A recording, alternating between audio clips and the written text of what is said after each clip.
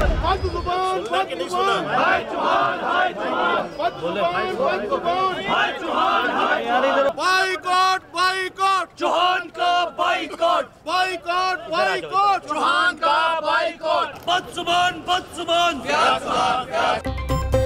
Media کو بدتمیز کہنے پر صوبائی وزیر اطلاعات فیاض الحسن چوہان کی جگہ جگہ رسوائی اسمبلی کے اندر اور اسمبلی کے باہر صحافیوں کا بائیکاٹ شدید نعرے بازی چٹ آئی لکھا تھا، بیوی کی طبیعت ٹھیک نہیں، پریشان تھا۔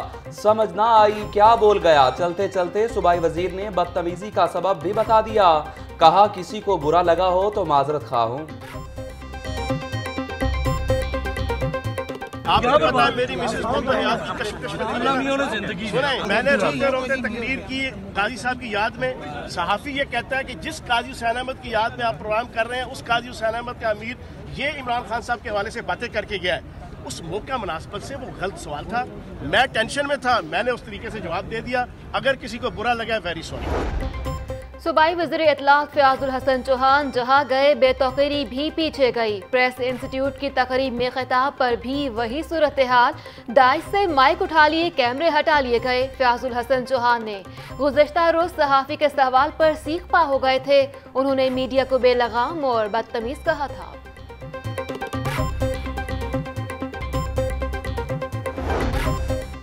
حکومت کی بدتمیزی کا نشانہ پہلے حکومت تھی، اب صحافی بن چکے ہیں۔ حمزہ شہباز کی وزیر اطلاعات کے رویے کی مذمت عظمہ بخاری بھی چوہان پر برہم بولی۔ ریاست مدینہ کی باتیں کرنے والے اب میڈیا کو تمیز بھی سکھائیں گے۔ پیپلز پارٹی کے رہنما حسن مرتضی کا صحافیوں کے ساتھ اظہار یکجہتی اسمبلی سے احتجاجاً واک آؤٹ کیا۔ بولے، ریاست کے چوتھے ستون کو چھیڑا ہے، بھرپور احتجاج کریں گے۔ سینئر صوبائی وزیر عبدالعلیم خان کی، فیاض الحسن چوہان کی حرکت پر معذرت۔ میں تو یہ کہہ چکا ہوں کہ جو ہمارے جو بھائی ہیں، جو ہمارے کلیگ ہیں پنجاب میں میں تو ان کا جواب دہ تھا، میں نے ان کے لیے آپ سب سے معذرت کر لی ہے۔ اور میں اگر اس کوئی، اس اس لہجے کو یا اس طریقے کو پسند کرتا ہوتا تو کبھی معذرت نہ کرتا۔ قاتل ڈور ایک اور بچہ پتنگ بازی کے خونی کھیل کی بھیٹ چڑھ گیا۔ مصر شاہ میں چودہ سالہ سہیب نے کٹی پتنگ کو لوٹنے کی کوشش میں ڈور کو پکڑا ہی تھا کہ ڈور بجلی کے تاروں پر جا گری اور کرنٹ لگ گیا، بچہ چا بھاگ موت کی خبر سنتے ہی گھر میں کوہرام مچ گیا، والدین کو غشی کے دورے۔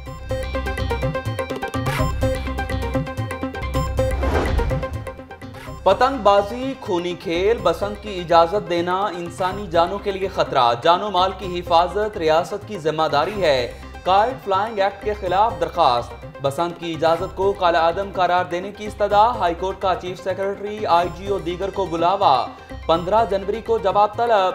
جسٹس عابد عزیز شیخ نے مزید سماعت کے لیے درخواست۔ جسٹس امین الدین کو بھجوا دی۔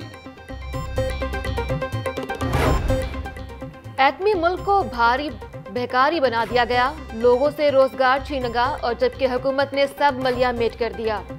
حکومت میں اہلیت ہی نہیں، ہم نے کیا گھرانا ہے، خود ہی گرے گی۔ توانائی بحران شدت اختیار کر چکا، ملکی معیشت وینٹیلیٹر پر ہے۔ حکومت میں میٹرو ٹرین منصوبہ مکمل کرنے کی اہلیت نہیں۔ نیازی صاحب، قوم کو حساب دو۔ Opposition leader, Punjab assembly. Hamza Shahbaz کی میڈیا سے گفتگو۔ اب وقت آ گیا ہے کہ ہم پرفارمنس کی جانب جائیں۔ عوامی فلاح و بہبود کے لیے اپوزیشن کی ہر مثبت تجاویز کا خیر مقدم کریں گے۔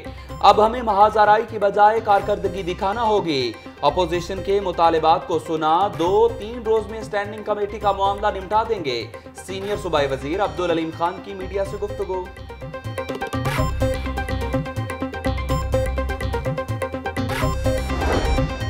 چودھری نثار علی خان کے حلف نہ اٹھانے کا معاملہ، پی ٹی آئی سابق وزیر داخلہ کو اسمبلی سے آؤٹ کرنے کے لیے متحرک، قواعد و ضوابط میں ترمیم کا نوٹس پنجاب اسمبلی میں جمع کروا دیا۔ حکمران جماعت کی مومنہ وحید کہتی ہیں، منتخب اراکین بغیر کسی عذر و بیماری حلف نہ اٹھائے تو ایوان کی توہین۔ عوام اور اسمبلی وقار کو قائم رکھنے کے لیے چودھری نثار کو ڈی سیٹ کرانا ضروری ہے۔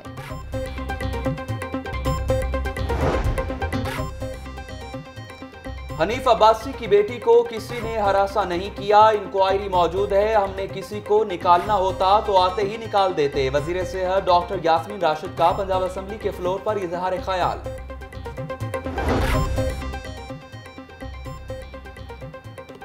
لاہور نیوز نے اٹھایا شہر کو چمکانے کا مشن۔ لاہور نیوز کی نشاندہی پر صفائی کی نگران کمپنیوں نے ایبٹ روڈ کو چمکایا۔ ساتھ ہی ارد گرد کی گلیوں اور سڑکوں کی صفائی ستھرائی کا بیڑا اٹھایا۔ ایبٹ روڈ پر لگ گیا آگاہی کیمپ۔ جاری ہے کوڑے کے خلاف جنگ۔ شادمان یوسی ایک سو ننانوے میں ہیوی مشینری کے ذریعے علاقہ صاف کیا گیا۔ دکانداروں اور رہائشیوں میں ویسٹ بیگز اور آگاہی پافلٹ بھی تقسیم کیے گئے۔ لاہور نیوز کے مدد سے شہر کو خوبصورت بنائے افسران صفائی کمپنی۔ آپ کی خدمت میں لاہور نیوز ایک قدم اور آگے۔ اگر گندگی اور تعفن سے آپ کا علاقہ کچرا کنڈی بن چکا، کوڑے اور گندگی کی فوری فوٹیج یا تصویر بنائیں۔ اور بھیج دیں لاہور نیوز کے اس نمبر پر جو ہے صفر تین چار چار چار چار پانچ صفر ایک نو دو۔ ہم آپ کی آواز پہنچائیں گے ارباب اختیار تک۔ لاہور چیمبر آف کامرس میں انجمن تاجران کا اجلاس، تاجر برادری نے لاہور نیوز کی صفائی مہم کو سراہا۔ صدر انجمن تاجران مجاہد مقصود بٹ نے کہا، شہر میں صفائی ستھرائی کی صورتحال بہتر ہو رہی ہے۔ تجاوزات اور ٹریفک کے مسائل حل کروانے کے لیے بھی سرکاری اداروں سے بھرپور تعاون پر اتفاق۔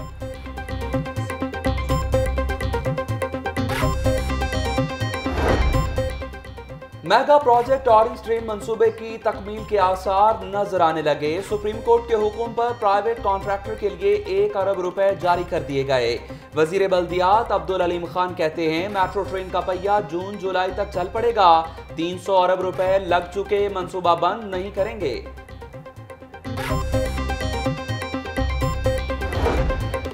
سکینڈل زدہ چھپن کمپنیز کا اب مستقبل کیا ہوگا؟ سفارشات تیار کر لی گئیں۔ Inland water transport company, Punjab working women fund company بند کرنے کی سفارش، Punjab meat processing, Punjab dairy corporation, Punjab social security health management company کو بھی بند کرنے کی تجویز۔ چیف سیکرٹری کی سربراہی میں کمیٹی کو محکموں نے سفارشات بھیجوا دی۔ وزیر اعلیٰ پنجاب کابینہ اجلاس میں حتمی منظوری دیں گے۔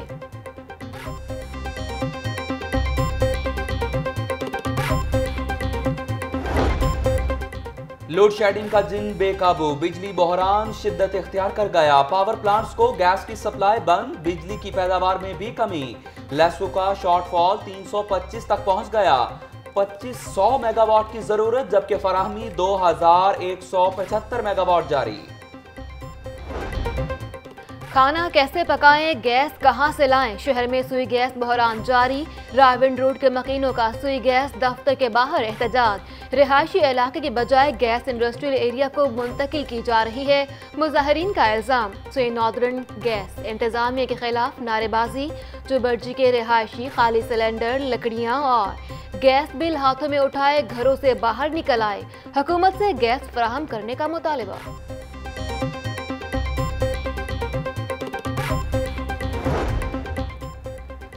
وزیر اعظم کا سستے گھروں کی تعمیر کا منصوبہ کاغذی مراحل میں داخل، گھروں کی الاٹمنٹ کے لیے درخواست فارم فائنل پرنٹنگ کا عمل جاری۔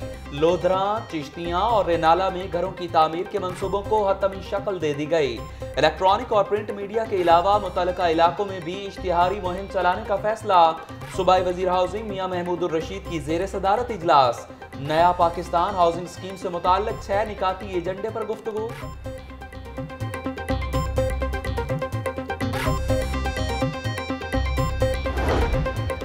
ہیلمٹ کی پابندی کو خاطر میں نہ لانے والوں کے گرد شکنجہ، مزید سخت۔ اب ہیلمٹ کے ساتھ موٹر سائیکل بھی بند ہوگی۔ محکمہ داخلہ پنجاب نے احکامات جاری کر دیے۔ ذرائع۔ بغیر ہیلمٹ، موٹر سائیکل سواروں کو ایندھن فراہم کرنے والے پیٹرول پمپس کے خلاف بھی کارروائی کی ہدایات۔ شہریوں کا تحفظات کا اظہار۔ دل اور سانس کے مریضوں کو ہیلمٹ کی چھوٹ دینے کا مطالبہ۔ ہمارے ساتھ بیٹھ کر پالیسی تشکیل دی جائے، انڈسٹری چلانے اور پالیسی بنانے والا کوئی نہیں۔ وفاقی وزیر خزانہ اسد عمر کو خط بھی لکھے، وہ وقت دینے کو تیار نہیں۔ ہمیں حکومت سے کسی اچھے سلوک کی کوئی امید نہیں۔ پاکستان سٹیل مل عہدیداروں کی پریس کانفرنس۔ حکومت حکومت کے پاس کوئی ہوم ورک نہیں۔ ملک میں غیر یقینی کیفیت ہے۔ موجودہ حکومت نے اقتدار میں غیر یقینی کو صورتحال پیدا کی۔ سیاسی پوائنٹ سکورنگ سے معیشت کو بہت نقصان پہنچا۔ سابق مشیر خارجہ سرتاز عزیز کی پیاف ہاؤس میں میڈیا سے گفتگو۔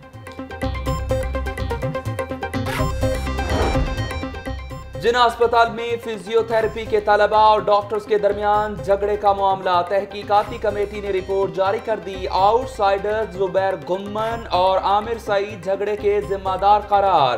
زبیر گمن، عامر سعید نے ڈاکٹر، سیکیورٹی سٹاف سے بدتمیزی کی اور بعد میں طلبہ کو بلا لیا۔ طلبہ اور ڈاکٹر کے درمیان چپکلش بھی جھگڑے کی وجہ بنی۔ آئندہ واقعات سے بچنے کے لیے غیر متعلقہ افراد کے داخلے پر پابندی لگانے کی سفارش۔ رپورٹ۔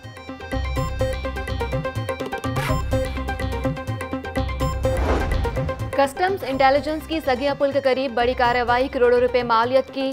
سولہ ہزار کلو سے زائد کی اسمگل شدہ چھالیا قبضے میں لے لی گئی۔ ڈرائیورز اور کنڈیکٹرز کو حراست میں لے لیا۔ اور Lahore college for women university میں طالبات کے پروجیکٹس کی نمائش۔ طالبات نے ملبوسات، کراکری، پینٹنگ اور کھانے پینے کے سٹالز بھی لگائے۔